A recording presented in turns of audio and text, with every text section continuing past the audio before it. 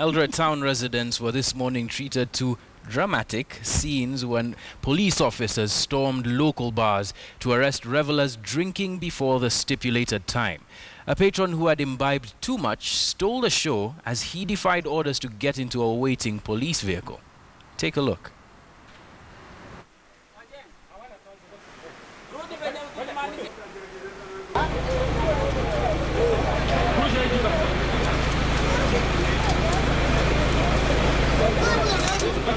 Chakula nimepeana hapo, nimekuja kwa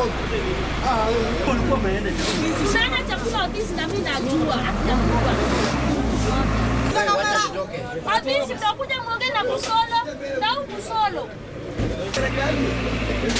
Usisongeshe na huyu usisongeshe. sijui wanakuja. Ah, watu- Umeanguka mara tatu.